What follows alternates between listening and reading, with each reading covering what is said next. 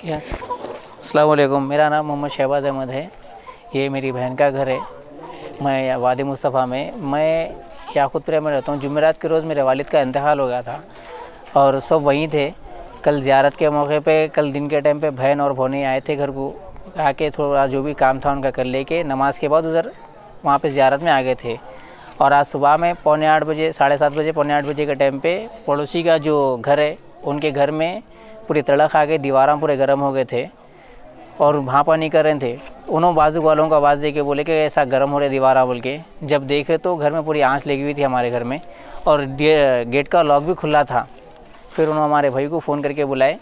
फिर हम लगा जब आके देखे तो पूरा घर का पूरा सामान जल गया। फर्नीचर था, अलमारी में के सामान पूरे जल गए और एसी जितना भी फर्नीचर घर का था सब जल गया। और कैश भी था उसमें, घर का सामान, सोना भी था, दो घर के डॉक्यूमेंट्स भी थे। और घर के गाड़ियों के भी पेपर रखे हुए थे। सामान तो कुछ बचा हुआ नहीं है। हमारे कहाँ है ना?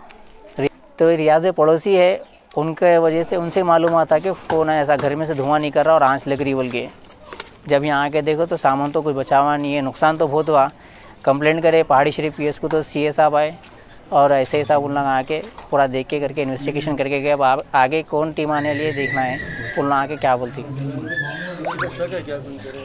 नहीं शक तो किसी पे नहीं है। रिलेशनशिप सबसे अच्छा ही था यहाँ पे रिश्तेदारों में भी बस्ती में भी सबसे अच्छे ही थे। तो शक की तो कोई गुंजाइश नहीं है ऐसा। नुकसान का क्या हुआ? नुकसान घर में कोई बचा ही नहीं। खाली राखी रखी हुई है घर में और क्या है? पूरा सब जल गया ही है अस्सलाम वालेकुम जलपल्ली म्यूनसिपल के एरिया वाद मुस्तफ़ा में वार्ड नंबर 22 में जो है सुबह में एक फ़ोन आया था 21 वार्ड में। एक फ़ोन आया था कि ऐसा घर को आँच लगी बल के। तो आए यहाँ पे हम लोग आके जो है पूरा इसका जायज़ा लिए और ये घर के जो लोग हैं नो वन डबल ज़ीरो पर कॉल करे। कॉल करते कि जो है पहाड़ी शरीफ पीएस से सर्कल साहब, सतीश साहब और भास्कर साहब एस आई साहब उन्होंने आके जो है इन्वेस्टिगेशन करे।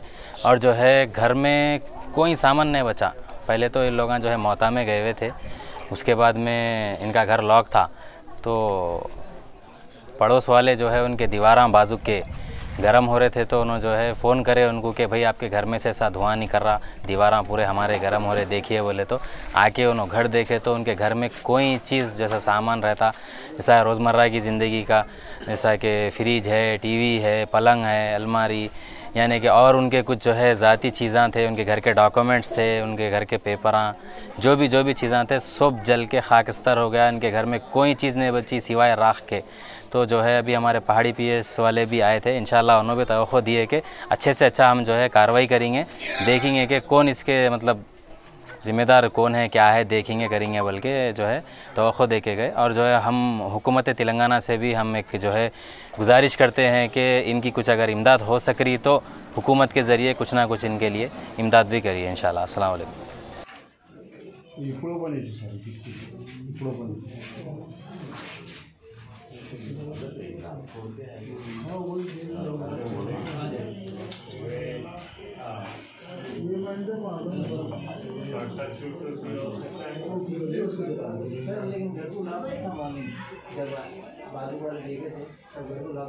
लॉक नहीं था सर मैं सर सामने मैं चुन आवाज़ दी हम लोग बच्चे अरे बाजू में घर है अच्छा लॉक चाहिए को बाहर से लॉक है इसको अंदर से लॉक करके उधर से अंदर से लॉक था सर గేట్ ఉంది కదా బయటకి మొత్తం లాక్ చేసి లాక్ చేసి వెళ్ళిపోయింది బయట ఆ లాక్ ఇరగొట్టి లాక్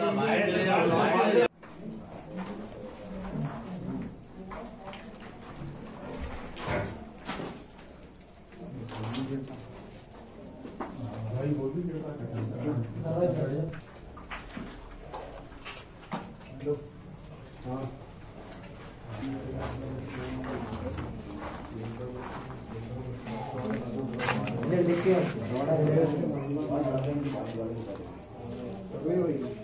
तूने सही करा मैं जा वायर करके वॉशिंग मशीन के पास